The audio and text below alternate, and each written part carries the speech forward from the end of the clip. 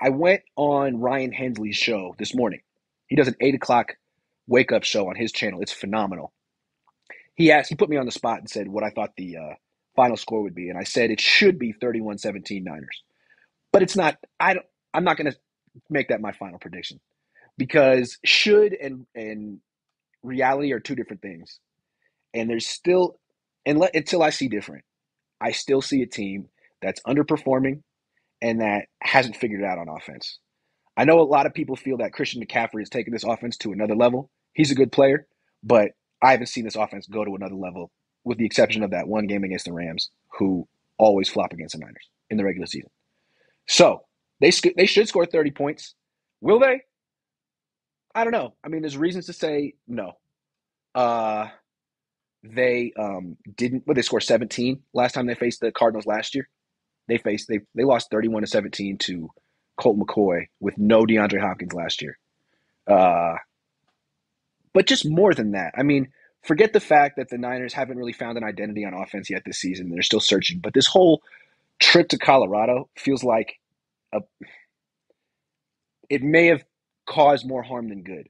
The way the Niners were talking about it privately up there, like to, you know, around us, anytime you meet anyone in the organization, it was kind of like, yeah, you know, no one really saw this snow coming. I mean, really, what are the odds? Like two days of the year that we're coming, it snows. I mean, it's gonna be hot. It's gonna be warm again in a few days. Like they kind of just chalked it up to bad luck and sort of help hoped that the work they did would sort of be beneficial, even though it's incredibly inconvenient to have to practice in the snow.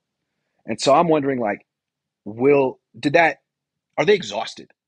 They may be acclimated to the it, uh, elevation, but are they exhausted? And how prepared are they for this game?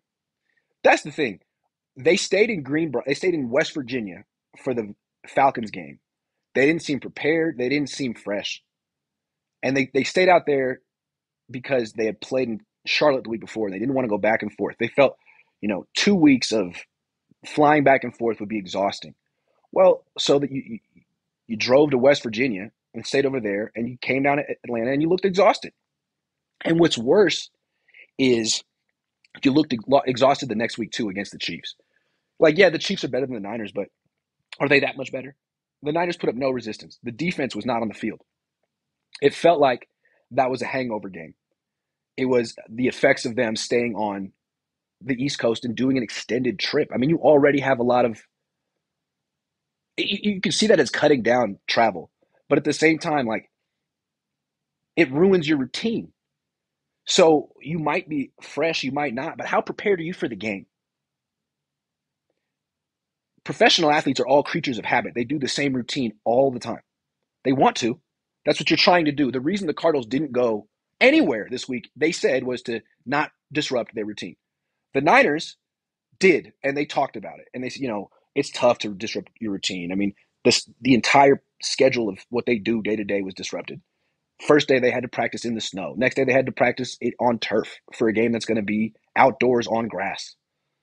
So it, it doesn't feel I, the Niners aren't giving off vibes that they're as prepared as they should be. Although they took the extra effort, you know, they they made the extra trip. They seem more dedicated, more serious about the game than the Cardinals.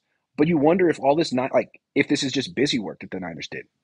Was this the right was this the right thing to do? And I think the final irony, and it's a tragic irony, but it, like the nine, why didn't they just go to Mexico City early?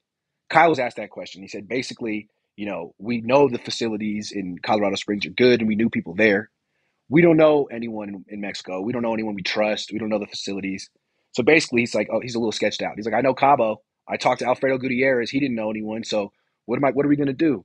Okay, all right, all right. Um, but the irony is that when they were in Colorado Springs, there was a shooting in Colorado Springs. So if you're going, if you didn't go to Mexico City because of safety, well, there was a safety issue in Colorado Springs. I mean, to put it mildly. So I'm thinking next time the Niners want to prepare for a Mexico City game, you either stay home or you go to Mexico City anyway, what I'm trying to say is I think the Niners are going to once again play down to their opponents and mess around on offense and score a, around their season average, which is like 22. So since they got a, they're a little bit more acclimated to the elevation. I'm gonna give them 23. I'm gonna say they're gonna win 23 to 17. I don't have a question with the defense. The defense, I think, even though they had to go to Colorado, they might be exhausted in this elevation. I think the defense is gonna show up like they normally do. Maybe Colt McCoy will have a couple of nice drives early on in the game, like Justin Herbert did, but essentially after halftime, I don't think Arizona's gonna be able to do too much. The question is the offense. Are they ever going to find a rhythm and an identity? I don't know if they will. I, I, if they do, I just don't anticipate it happening at the Air Force Academy. To me, that felt like a waste of time. You know, like when you you plan something and you're doing it, and you're like, man, I, this is just not what I envisioned. We should have done an audible. That's what the Niners should have done. I don't think that's what they envisioned at all.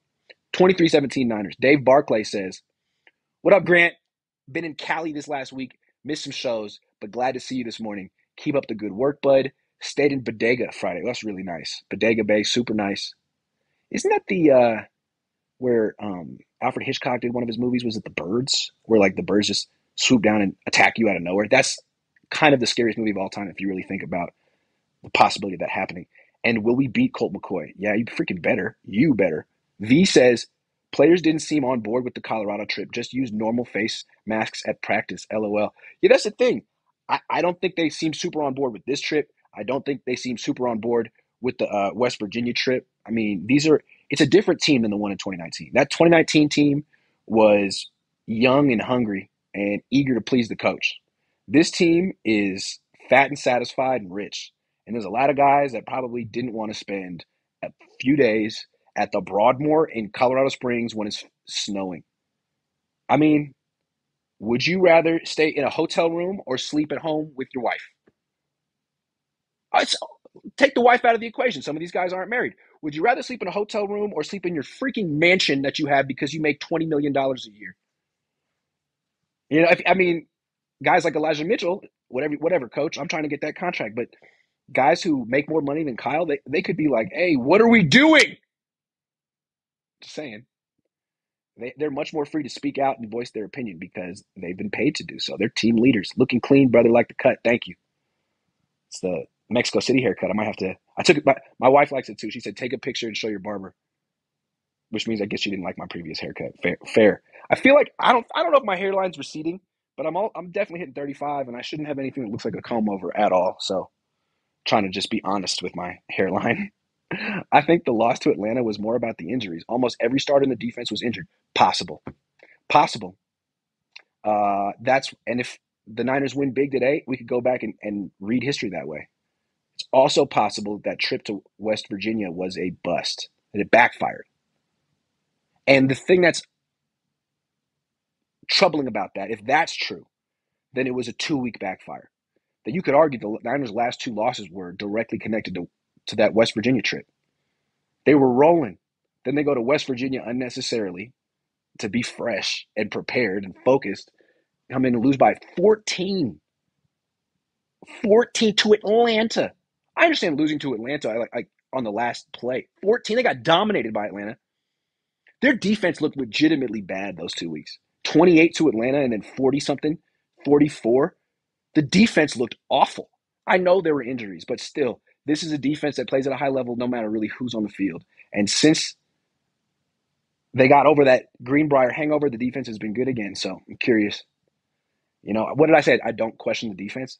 Well, if I'm right, if it's true that this trip to Colorado Springs is going to have a uh, is going to tire out the team, well, you're going to see it in the defense then, right? They're not going to have that same energy. They're not going to have the same speed, and eventually, those long drives, chasing screens left and right, will take a toll. I hope that doesn't happen. Well, actually, I don't care. I root for the Niners. I'm sorry. Uh, beyond reasons ENT says, it's astonishing that a pro football team doesn't have any contacts in another country.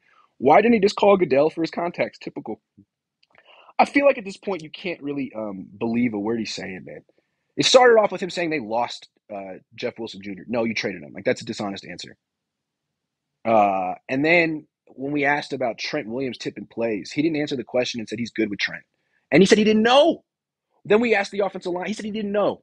Oh, I don't know about that. We asked the offensive line coach the next day, and he goes, "Oh yeah, I've been talking to Trent about that for a long time, and here's why Trent does it, and here's why he shouldn't do it." So I, Kyle just says anything at this point. Don't you can't give him the benefit of the doubt that he's not that he's being 100% truthful at these press conferences. He's not under oath. He knows it. He just be saying things. Sean O'Leary says, "Rest easy, Grant. It's a widow's peak, not a receding hairline. Thank you." Sign of aging and maturity. I can say that because I'm about 10 years older and have the same. Yeah, I just saw some people like fighting about hairlines on Twitter today, and I was, I mean, this week, and I started uh, looking at my own really insecurely. So thank you for making me feel better.